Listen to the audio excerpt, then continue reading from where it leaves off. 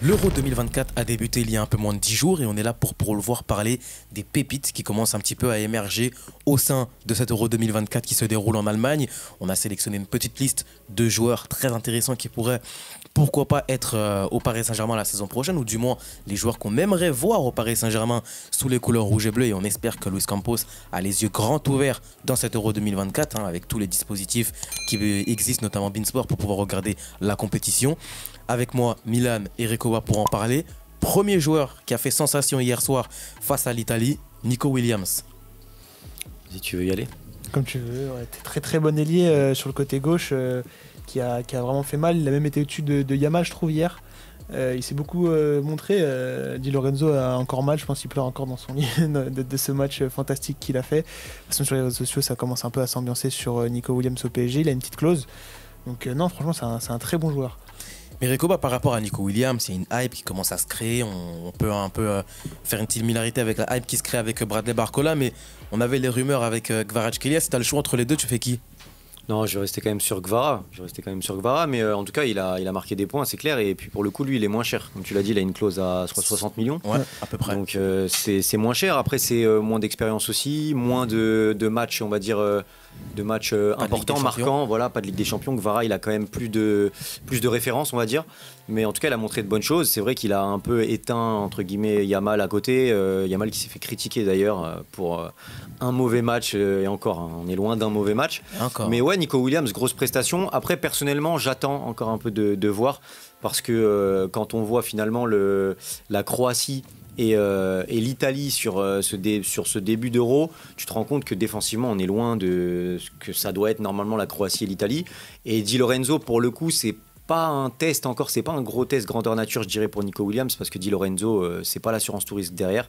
Donc je pense qu'il faut quand même tempérer, mesurer un petit peu et voir ce qui donnera, surtout en phase finale, puisque maintenant l'Espagne est qualifiée. Surtout que les latéraux euh, d'Italie ont été très mauvais. Tu parles de Di Lorenzo, mais Di Marco sur le côté gauche n'a pas été euh, fou non plus. Hein. Ah, ouais, bah, Di Marco, il, a, pris la, il a pris la fumée, hein, Di Marco, par rapport, à, par rapport à, sa confrontation face à la Yamal. Mais n'hésitez pas à nous dire dans les commentaires les recrues que vous aimeriez bien voir, qui se sont bien montrés durant cet Euro 2024 tout en étant cohérent. Hein. Ne parlez pas d'Ardagler. On sait très bien qu'il est indéboulonnable et qu'il ne bougera pas euh, de son club euh, au, Real Madrid. Ne parlez pas non plus de la Yamal. Hein. Restons cohérents dans, les pistes qu'on voudrait voir au euh, Paris Saint-Germain. Autre joueur, cette fois-ci un Géorgien, coéquipier de Kvaratskhelia qui a fait sensation en Ligue 1 avec le FC. Milan, qu'est-ce qu'on pourrait penser de Georges Mikotadze qui est pisté par Lyon, par Marseille et par l'AS Monaco? Si tu parles de l'Euro, euh, son premier match contre la Turquie est quand même intéressant. Alors certes, il, remarque, il rate son deuxième, euh, cette deuxième occasion qui aurait pu permettre de, à la Géorgie de passer devant la Turquie, mais il fait un match quand même intéressant. Euh, c'est un joueur qui peut jouer vraiment, on a pu le voir sur, à l'Ajax, qui joue pas forcément que buteur, même si c'est vraiment un, très bon buteur. Après, jouer... on l'a pas vu à l'Ajax, il n'a pas joué. Il a joué quelques matchs quand même. Moi, je l'ai vu jouer avec l'Ajax. Je crois qu'il a joué milieu offensif, mais il n'a pas joué buteur justement. Mais, mais après, ouais, justement, ce, raté à l'Ajax, on, ça peut, on peut se poser des questions sur le joueur. Non, non, c'est le raté à l'Ajax, c'est à cause de la direction sportive. Après, les six mois qu'il fait à Metz, c'est quand même euh, un, grand joueur. Et là, c'était but d'euro. On l'attend sur, euh, sur le deuxième match pour voir ce qu'il ce peut donner d'intéressant. Il a été plus intéressant que Courage Keller hein, sur ce premier match. Donc, euh, effectivement, c'est un, un très bon joueur. Toi, t'en penses quoi, Recoba, de la piste Mikotazé? Trop frêle pour le PSG Non, pas trop frêle. Non, je pense que ça peut être une solution. Euh, je me souviens de quelqu'un qui l'avait mis dans mm. son mercato idéal. Et je trouvais que c'était une bonne concurrence pour Gonzalo Ramos, justement, en fait, tout en lui laissant. Parce que si tu ramènes un Ozymen, une vraie pointure comme ça, c'est différent. Alors que si tu ramènes Mikotadze, bon, bah, il va accepter de passer le step PSG, d'être dans un grand club et de démarrer, entre guillemets, en tant que doublure, mais qui peut gagner sa place puisque Gonzalo Ramos n'est pas installé. Donc en vrai, c'est pas déconnant. Et de ce qu'on a pu voir Rien qu'à Metz, il revient sur la deuxième partie de saison. Mm. Euh, je crois qu'il met plus de 10, buts, hein. plus de 10 buts, des super buts. Là, euh, à l'Euro, clairement, il s'est très très bien montré. Il a eu beaucoup de grosses occasions. Euh, tu vois que c'est un buteur. Tu disais tout à l'heure qu'il avait joué à l'Ajax milieu offensif. Quand tu vois le but qu'il met, un peu renard des surfaces, il se crée des occasions un peu tout seul. Il arrive souvent dans la surface à prendre le dessus, à sentir où le ballon va arriver, alors qu'il peut y avoir trois ou quatre défenseurs. Donc c'est intéressant. C'est un vrai bon buteur. Il a des qualités techniques aussi. Il sait jouer en remise, tout ça. Il sait jouer au dos au but. Donc ça peut être pour moi une très très bonne solution pour euh, venir concurrencer Gonzalo Ramos. la concurrence elle est très importante et ça, te permet aussi de, dire qu'on commence avec euh, Gonzalo euh, buteur comme beaucoup le demandent. faut aussi rappeler hein, par rapport à Georges Mikotadze qu'il est évalué entre 15 et 20 millions d'euros, donc ça ne sera pas trop cher pour le Paris Saint-Germain, et qu'il a aussi la capacité à être polyvalent, car il peut jouer sur l'aile gauche en tant que buteur et mhm. aussi ailier gauche. Et on rappelle formé à l'Olympique lyonnais dans la même rengaine que des joueurs comme Amine Gouiri. Un autre défenseur central. Voilà, lui aussi, hein, la, hype du moment, notamment sur les réseaux sociaux, car ça l'a comparé grâce à sa coupe de cheveux à Alessandro Nesta ou à Paolo Maldini. Calafiori. Calafiori que j'aime beaucoup. J'ai fait une vidéo sur Bologne il n'y a pas longtemps, donc j'en ai vu euh, des, vidéos, des highlights et des, résumés. sincèrement, c'est un super joueur. Il a beaucoup, beaucoup de qualité. Et euh, je dirais qu'au-delà de. Bon, Nesta et Maldini avaient quand même de, bonnes qualités techniques. Hein. Ah, sur la coupe de cheveux. Ouais, sur la coupe de cheveux, bon, il y a, y a, de ça, c'est sûr. Mais euh, non, je pense qu'il a beaucoup de qualités aussi similaires à eux. Après, il reste encore très jeune. Et euh, bon, comme dans tous les pays ou tous les championnats, il y a vite une hype, surtout quand il y a une petite ressemblance physique. Mais au niveau des qualités, euh, il, est, il, est, très très bon. Et surtout, il est intéressant dans les relances parce qu'il a une vraie qualité technique, une vraie vision de jeu. Et, et il se, comment dire, dans le, dans, le, dans le Bologne de Mota, il s'incorpore parfaitement. Il remonte le ballon, il vient demander au milieu. Il apporte du surnombre au milieu en attaque. On l'a vu marquer aussi. il s'est montré dans les matchs importants aussi. Donc euh, bon, bon, là il y a eu ce but contre son camp, alors on va lui en tenir un peu rigueur, etc. Mais en réalité, il a quand même fait un bon match solide. Le premier match a été solide aussi. Donc euh, non, c'est un joueur d'avenir, mais euh, visiblement c'est promis à la Juventus si je ne me trompe pas. C'est pas faux. Mais Milan, si jamais le dossier Lenny Euro venait à ne pas marcher, est-ce que on doit jeter son dévolu sur Calafiori Jeter son dévolu, c'est peut-être un grand mot, mais ça peut être une piste très intéressante pour le Paris Saint-Germain. Euh, comme tu l'as dit, il est bon à la relance. C'est un profil qu'on cherche. On... Lucien Riquet a essayé de mettre euh, Beraldo, justement, qui est très bon à la relance en défenseur central, pour justement euh, monter plus vite les ballons. mais surtout, il y a un point qui est intéressant, c'est qu'il est quand même grand et il arrive quand même à prendre beaucoup de ballons de la tête. Et on sait que c'est un défaut au Paris Saint-Germain. Et dans, pas faux. dans tous les cas, en plus de ça, il y a peut-être une fenêtre de tir parce que Bologne serait réticent à le vendre en Italie et préférait le vendre à l'étranger. Concurrent surtout que peut-être que Thiago Motta, dans quelques années, viendra et retrouvera son joueur, ça pourrait être pas mal. Effectivement. Aussi, ça peut être très intéressant. Milan, on va enchaîner avec toi avec euh, un autre joueur qui euh, a un peu créé l'histoire, car 20 ans après, 20 ans après son père, c'est lui aussi qui marque à l'Euro 2024. Francisco Conceição la fumée, euh, franchement, j'en bave euh, cette, saison, ce qu'il a fait avec le, FC Porto, alors que lui aussi a, a à l'Ajax. Euh, non, franchement, ce qu'il ce qu'il a fait avec le Portugal, il fait une très bonne rentrée. il marque ce but qu'il nous délivre mais euh, c'est même pas c'est même pas démonstratif de ce qu'il a fait cette saison techniquement. Il y a beaucoup qui disent qu'il ressemble à Messi effectivement. Il a quand même un, centre de gravité assez bas. calmer sur les comparaisons. Il y, en a beaucoup qui, il en a beaucoup qui le comparent à Messi au niveau de son centre de gravité qui est plutôt bas. Et, techniquement il est quand même assez bon. Euh, il, dribble assez enfin il dribble assez bien. Techniquement il peut éliminer 2-3 défenseurs.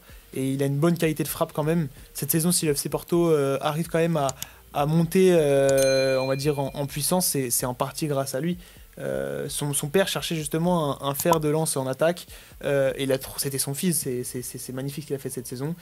On espère le voir euh, encore dans cette compétition avec le Portugal. C'est peut-être lui justement qui peut amener quelque chose à l'Euro et même au Paris Saint-Germain à droite concurrencer Ousmane. Une bonne concurrence pour toi, Rico, sachant qu'il a une clause à 30 millions d'euros valable jusqu'au 15 juillet. Oui, ça peut l'être, c'est clair. Euh, on parlait de Nico Williams tout à l'heure, on est un peu dans le même style, dribbleur, un gros gros dribbleur, gros dynamiteur, et ça, ça fait du bien. Euh, c'est un vent de fraîcheur pour le Portugal, qui, où il va continuer un peu dans la lignée des ailiers virevoltants, avec, euh, avec Ronaldo, avec Quaresma et d'autres. Ça change de Bernardo. Ça change de Bernardo, c'est un profil différent, et d'ailleurs, je pense que ouais, le, peuple portugais l'attendait en sortie de banc sur ce premier match difficile, et je dirais que même le monde du football attendait qu'il rentre, au final il est rentré, on espérait qu'il rentre avant, mais il a quand même fait la différence, donc tu vois que c'est pas le fils de Contessao pour rien. Euh, il y a du mental, il y a du caractère chez ce petit, et je pense qu'il va aller très très loin. Euh, après, on est habitué avec Porto et Benfica qui, en, général, sortent de vraies bonnes pépites. C'est vrai, peut-être qu'on va devenir euh, dans quelques années le, Portugal Saint-Germain. Pour plus grand plaisir. Il y a aussi des choses intéressantes par rapport à un certain joueur qui est souvent lié avec le Paris Saint-Germain. C'est Joy Virman, le joueur, le joueur milieu défensif de 25 ans. Virman qui a fait un premier match un peu euh, compliqué. Euh, il a tenté, il a eu le mérite d'essayer. Euh, d'ailleurs, il ne sera pas titulaire normalement ce soir face à la France. Euh, mais il y a pas mal de blessures au milieu de terrain euh, côté néerlandais, donc du coup il a pu euh, jouer ce premier match. Mais Virman, il a encore tout à prouver. il a éclaboussé son talent un petit peu tard. Il a 25 ans et toujours aux Pays-Bas. Normalement, il devrait partir dans un top championnat européen. Donc on va voir si ce sera un top club ou pas, ou si ce sera un club un petit peu moins huppé. Mais il y a des qualités, notamment la créativité. il tente beaucoup de passes assez risquées. On a vu plusieurs fois tenter au-dessus de la défense. maintenant, bon, ça reste un joueur qui a peu d'expérience, on va dire, au très très haut niveau, qui a besoin encore de faire ses gammes. C'est, ça peut être une solution au niveau talent pur, mais est-ce que euh, on n'a pas besoin d'un joueur plus abouti au PSG on peut se poser la question. T'es prêt à mettre combien, Milan, pour Virman si les rumeurs commencent à devenir un peu plus concrètes? Je suis prêt à mettre combien C'est un grand mot. 50 millions, tu les mets? 50 millions, pourquoi pas? Après, ça dépend qui tu vas chercher. Je pense que si tu vas chercher que Virman, il y a un problème. Tu as besoin de, concurrence.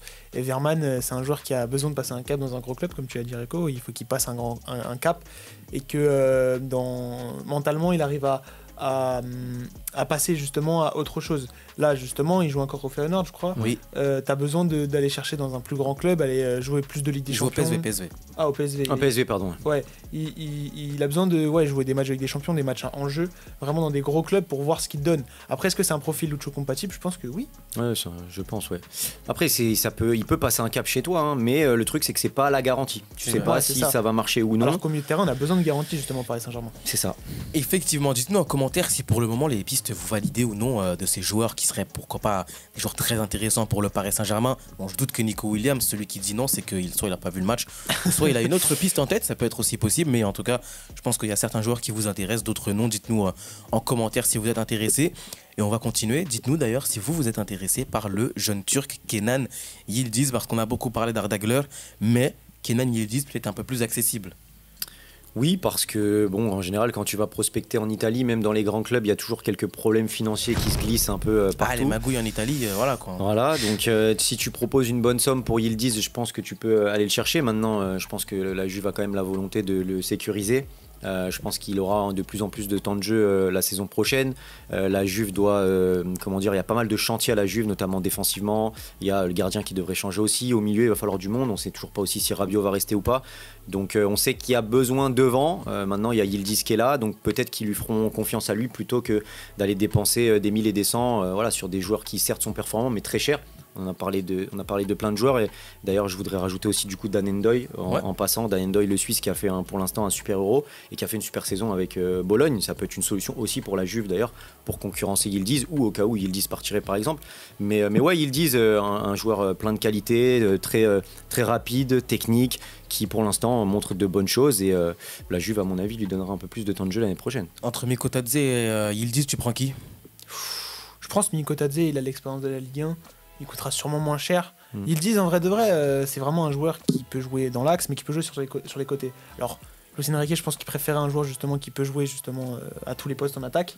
Mais après, euh, Miko Tadze, je pense qu'en Ligue 1, tu as besoin d'un joueur, tu as besoin d'un Gonzalo Ramos qui vient de faire son temps de jeu. Miko Tadze, tu sais que tu vas le faire rentrer, il rentrera, il claquera ses buts dans la saison en Ligue 1 ils disent, même s'il est très bon avec la Juventus, très intéressant, ce qu'il a fait avec la Turquie, c'est pas mal, mais t'es pas sûr à 100% qu'il performe. C'est pas faux. On il nous reste deux joueurs qu'on va pouvoir un peu faire une comparaison. C'est Bakayoko, Joan Bakayoko, le joueur du PSV Eindhoven, et Pedro Neto, l'ailier droit de, Wolverhampton. Est-ce que, que ces deux joueurs-là sont des pistes intéressantes pour le Paris Saint-Germain? On a parlé de premier choix tout à l'heure. Pour moi, ça, reste des seconds choix. C'est des joueurs intéressants, mais euh, est-ce qu'ils peuvent amener une plus-value tout de suite par rapport aux Eliecta Ils peuvent amener de la concurrence, ça c'est sûr. Maintenant, de là à prendre le poste de numéro 1, euh, je suis pas sûr. Bakayoko, c'est talentueux. Est-ce que ça peut t'apporter plus que Dembélé? Je suis pas sûr. Plus que Barcola, je suis pas sûr. Pareil pour, pour Pedro Neto. Euh, mais dans tous les cas, c'est des joueurs intéressants et qui, à l'avenir, pourront peut-être. Mais à, court terme, je pense pas. Pour moi, le Paris Saint-Germain doit aller chercher des choix numéro 1 qui sont capables de s'imposer tout de suite. Après, pour la concurrence, avoir des jeunes derrière Ousmane Dembélé, ça peut être intéressant. Après, le problème de si on doit parler de Pedro Neto, le problème c'est qu'il est beaucoup blessé. Euh, c'est un jeune joueur qu'on attend beaucoup depuis des années. Euh, malheureusement, son agent a fait qu'il n'a pas fait les. Gestifut, hein, on rappelle. Hein, voilà, il n'a pas fait, pas fait les, bons choix dans sa carrière. Aujourd'hui, il se plaît bien avant le Verhampton. Il fait pas non plus euh, une saison qui, quand même, encore une fois, les blessures ont fait que il n'a pas pu faire la saison qu'il fallait. Après, quand tu regardes ce qu'il fait sur son entrée, même si c'est ça où il marque le but, c'est lui qui vient de dribbler trois joueurs, qui vient de faire le centre qu'il faut. c'est un très bon joueur techniquement. encore une fois, voilà, c'est des joueurs techniques après, effectivement, si tu veux, si es quand tu es le Paris Saint-Germain, tu te dois d'aller viser un peu plus haut. Pour moi, mais après, si tu parles de concurrence et que tu veux forcément installer Ousmane Dembélé en attaque, ça peut être intéressant pour pas non plus extrêmement cher d'aller chercher ce jeune joueur. Dites-nous dans les commentaires ce que vous avez pensé de nos euh, pistes préférentielles pour le Paris Saint-Germain, notamment en, vue de cet Euro 2024, où on a pas mal de joueurs qui arrivent à, se révéler et, à être très très très intéressants. On rappelle, hein, lors du dernier Euro, c'était Federico Chiesa qui était la révélation de cette compétition. N'hésitez pas à nous dire des noms qu'on n'a pas cités pour le Paris Saint-Germain Est-ce que vous êtes d'accord avec certaines pistes? Est-ce que pour vous, certaines, pistes ne doivent pas être activées par le Paris Saint-Germain? Commentez, likez, partagez. D'ici là, à la prochaine.